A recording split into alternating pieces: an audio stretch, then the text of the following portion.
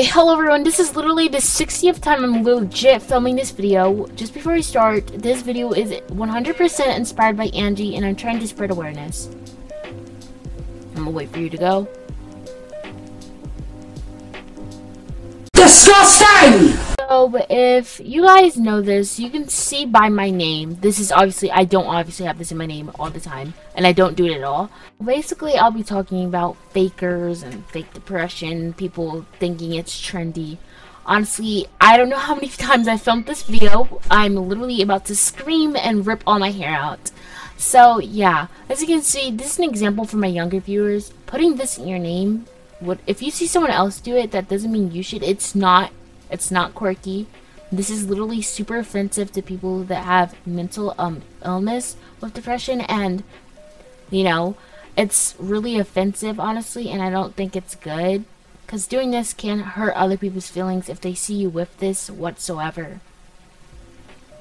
Um and just to explain this isn't in any way trying to offend anyone.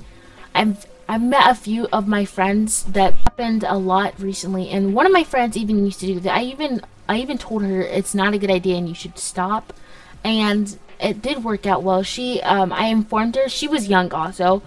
Um, she didn't even know. She just thought it was like a little trend to put whatever your this is in your bio, not bio, roleplay name. She didn't think there was any harm of it, but it actually does cause a lot of harm. Because there's actually people with this in real life that suffer every day and hurt themselves every single day because of depression. So it's not necessarily cool to put it in a pixelated game.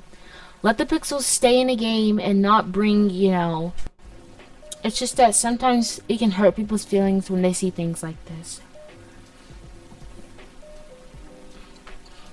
If you haven't seen Len's video, aka Angie, if you haven't seen her video, her video explains way better than mine.